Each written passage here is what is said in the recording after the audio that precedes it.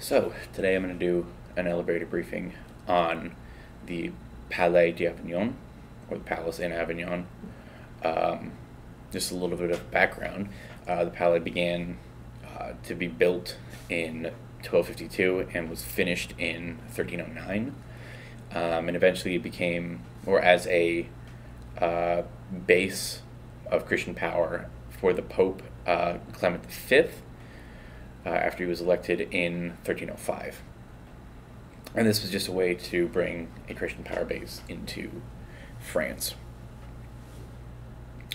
Uh, additionally, the French king at the time, uh, the Capet uh, King Philip IV, was in a little bit of economic trouble um, through a series of wars with uh, the French and the Gascons, or excuse me, with the English and the Gascons. Um, he brought just a series of debt uh, and a lot of money that he owed to the church and he owed to the people, um, and the devaluation of his currency because of a series of financial just misfortunes uh, and poor decisions. So the vision of why he wanted to create, or why the Palais, um, the Avignon was important, uh, was because it brought Christian power, uh, brought the center of Christian power away from Rome, and instead brought it into France. And it also added more religious support, legitimate religious support for the king. Uh, the best strategies in order to do this uh, were to construct the Palais um, as a holy place away from Rome and instead in France. That way, it could bring uh, especially more legitimate power from away from Rome and into France instead, uh, and use the that power to get religious tithes from to get papal tithes um, in order to get stuff from the monasteries and from these churches and pay the king because before that it was you know you couldn't necessarily get money from churches because they didn't have to pay taxes. Uh, the final piece of strategy would be to bring the pope under the control of the king uh, that way essentially the king could become in control of the church through the pope um, there's a series a series of tactics in order to do this. One, uh, the first one is in order to boost the treasury. Uh, the king needed to get as much. He needed to get money from the church, and in order to do that, he needed to go through Pope Pope Clement V. Um, and if he brought the papacy to France, if he brought the Pope to France, uh, and established France as a religious power base instead of Rome, it would be much easier to get those religious tithes.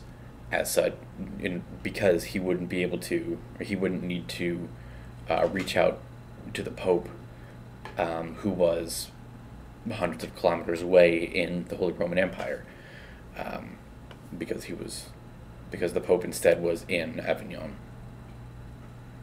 uh, this also made it easier for the king to control the pope. The pope was closer. Uh, the king had the religious power, uh, or excuse me, the king had the military power over the pope, um, and because of the close proximity to the pope, uh, or because of the close proximity to the king, uh, the pope was then obligated to show fealty, because France was not the Holy Roman Empire. France was under the rule of Philip IV at the time, and the rule of the Capetian kings.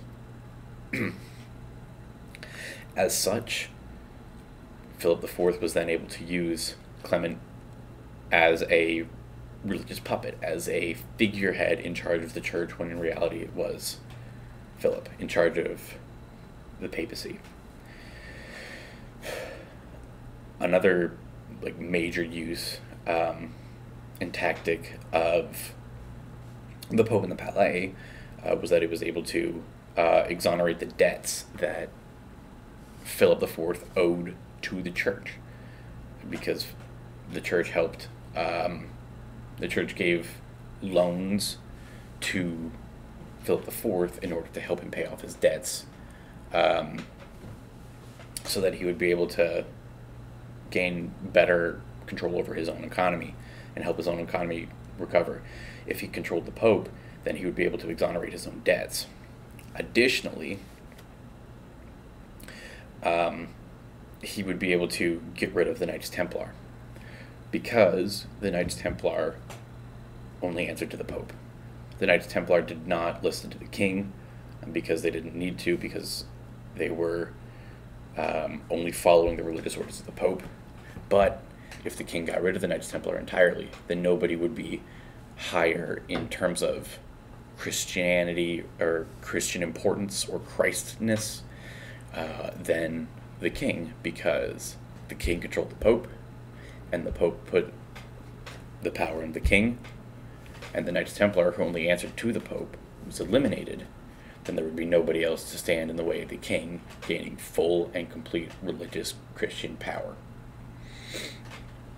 Now, moving the papacy to France, to Avignon, and away from the Holy Roman Empire, is a major maneuver. It's a major change in terms of um, in terms of extending the rule and extending the power of the Capet.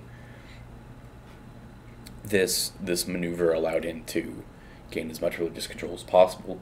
It allowed him to, or excuse me, it allowed Philip uh, to put more legitimacy to his uh, rule, to his crown, and it also brought him closer in terms of godliness to God Himself, uh, and instead brought it brought him from a divine ruler, from somebody who was assigned by God to somebody who was the closest thing to God, because before that it was the Pope, and now it's him.